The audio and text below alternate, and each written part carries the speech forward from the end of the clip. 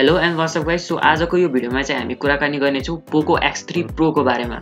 योभन्दा अगाडि चाहिँ पोकोले पोको एक्स थ्री लन्च गरेको थियो र त्यसमा भएको स्पेक्सलाई अझै अपग्रेड गरेर अहिले पोकोले पोको एक्स थ्री प्रो लन्च गरेको छ।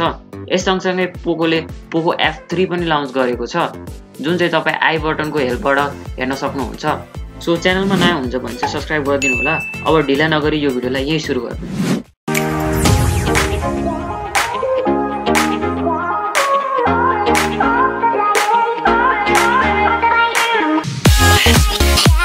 पोको एक्स थ्री प्रोको डिस्प्लेको कुराकानी गर्ने हो भने तपाईँले यसमा सिक्स पोइन्ट सिक्स सेभेन इन्चको आइपिएस डिस्प्ले पाउनुहुन्छ। यो डिस्प्ले चाहिँ one twenty hertz refresh rate भएको डिस्प्ले हो र तपाईँले यसमा टू फोर्टी हर्ससम्मको टच स्याम्पलिङ रेट पाउनुहुन्छ।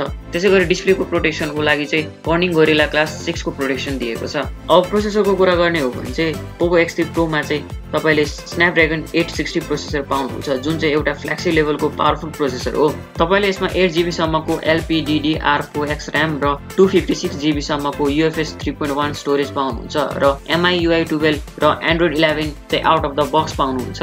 अब क्यामेराको कुराकानी गर्ने हो भने चाहिँ तपाईँले पोको एक्स थ्री प्रोको रियर साइडमा क्वाड क्यामेरा सेटअप पाउनुहुन्छ। यसमा तपाईँले फोर्टी एट मेगा पिक्सलको मेन क्यामेरा सेन्सर पाउनुहुन्छ तर पहिला आएको पोको एक्स थ्रीमा चाहिँ हामीले सिक्सटी फोर मेगा पिक्सलको मेन क्यामेरा सेन्सर पाउँथ्यो। त्यसै गरी यसमा एट मेगा पिक्सलको अल्ट्रा वाइड र टू मेगा पिक्सलको चाहिँ म्याक्रो र डेप सेन्सर दिएको छ।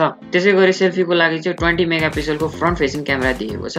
अब यसको अरू बाँकी स्पेक्सको कुरा गर्ने हो भने चाहिँ तपाईँले यसमा five thousand one hundred sixty एमएचको battery पाउनुहुन्छ with thirty three watt fast charging र थर्टी थ्री वाटको फास्ट चार्जर नि तपाईँले इन द बक्स पाउनुहुन्छ।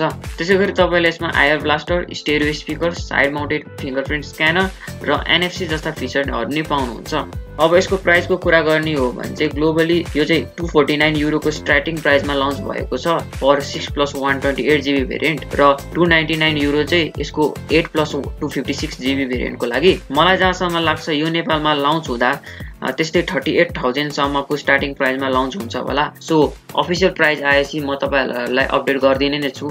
सो आजको यो भिडियोमा यति नै गाइस च्यानललाई चाहिँ नबिर्सिकन सब्सक्राइब गरिदिनु होला। Thanks for watching see you in the next video